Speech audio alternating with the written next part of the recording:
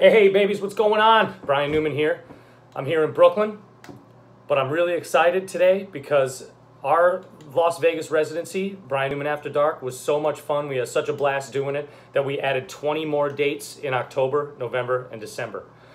So go on over to briannewman.com, check the dates out, and they're going to be officially on sale this Friday at 10 a.m., 10 a.m. Pacific time. I love you very much. Thank you so much, guys. We'll see you in Las Vegas.